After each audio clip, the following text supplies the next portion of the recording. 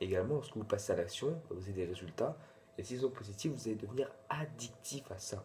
Et quand on est addictif à quelque chose, c'est comme si on est obsédé par cette chose. Et comme on est obsédé de passer à l'action, qu'est-ce qu'on va faire? On va faire plus d'actions. C'est-à-dire, on va augmenter son nombre d'actions, on va augmenter son nombre de résultats. Donc en fait, on fait une action, on a un résultat, on va faire plus, on fait une action, on a plus de résultats, on fait une action, voilà, bref, c'est tout simplement un effet boule de neige.